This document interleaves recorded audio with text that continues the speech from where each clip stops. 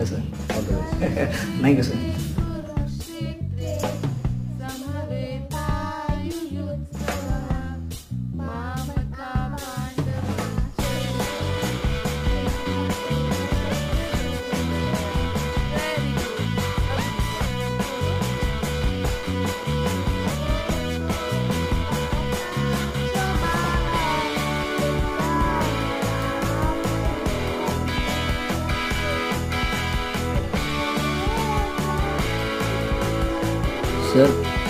you don't mind एक बात पूछो।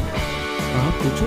आपके घर में कुछ ज़्यादा ही पूजा पाठ नहीं करते? हैं नहीं तो? नहीं जब मैं एंटर हुआ तो सब लोग आरती कर रहे थे। अभी भी कुछ तैयारी चल रही है। बच्चे भी कुछ श्लोका बोल रहे हैं। मतलब कुछ ज़्यादा ही धार्मिक एटमोसफियर है आपके घर पे। तो अच्छा नहीं है क्या? हाँ मेरा मतलब वो नहीं था। अरे फील फ्री जो बोलना है खुल कर बोलो। और ये सब हम ये एज के बाद भी कर सकते हैं। अभी क्यों? गुड क्वेश्चन अरे नंदरानी। सुनो ठंडाई पियोगे हाँ सर। दो गिलास ठंडाई तो लेकर आओ। ही बनानी सुबह ज़बरदस्त है। हाँ सर। खैर बताओ क्या पूछ रहे थे? सर मतलब यंग एज में तो मज़े करने चाहिए। ना रिलीजियस को तो हम बाद में भी इम्पोर्टेंस दे सकते हैं। अब मैं तुमसे एक सवाल पूछता हूँ। तुमने अभी भी गिटार सीखना शुरू किया है पर मुझे लगता है कि तुम्हें ये कुछ टाइम बाद करना चाहिए। अभी तो तुम्हारी पूरी लाइफ पड़ी है। तुम्हें पढ़ाई पर ध्यान देना चाहिए अपने करियर पर ध्यान देना चाहिए। और गिटार का क्या है? ये तो कभी भी सीखा जा सकता है।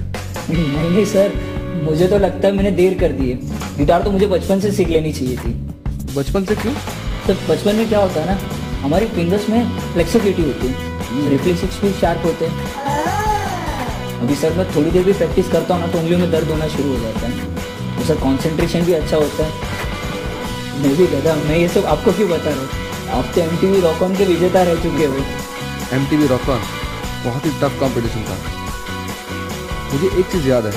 सारे पार्टिसिपेंट्स में एक चीज़ कॉमन थी, और वो थी उनकी सालों की मेहनत। तो बचपन से इतनी मेहनत करके हम गिटार इतना अच्छा बजा सकते हैं।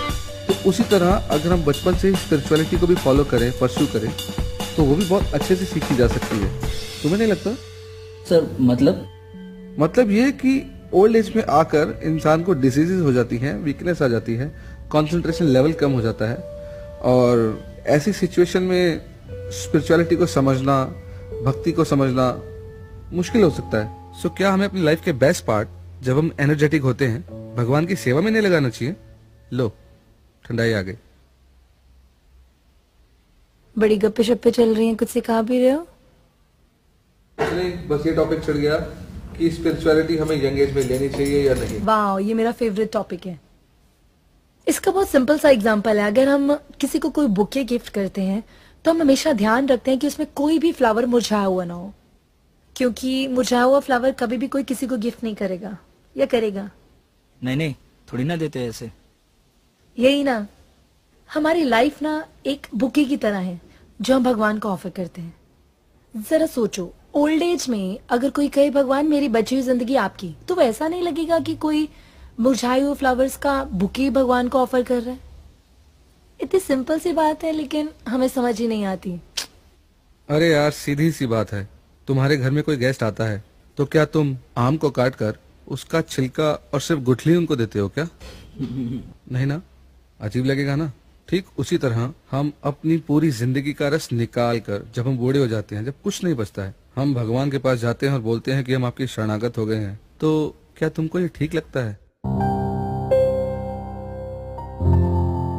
स्पिरिचुअलिटी में कम उम्र में जुड़ने से हमें लाइफ की तरफ़ एक ब्रॉड माइंडेड व्यू मिलता है। अच्छा बुरा, सही या गलत pain and pleasure ups and down भगवान के साथ रिलेशन कैसा होना चाहिए, ये सब सीखते हैं। और एक सीख और भी मिलती है कि हमारा किया हुआ कर्म एक ना एक दिन घूमकर हमारे पास अवश्य वापस आता है।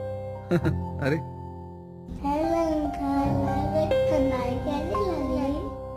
अंकल आजा आजा। अंकल तो मत बोलो चिंटू मिंटू। क्यों? अगर तुम मुझे अंकल बोल सकते हो तो इनको तो तुम्हें ग्रैंड अंकल बुलाना चाहिए। असली ज्ञान नई पीढ़ी को देना चाहिए जिसे वह आसानी से समझ सकते हैं। पुरानी पीढ़ी के लिए यह मुश्किल है क्योंकि पहले उन्हें वह सब भूलना होगा।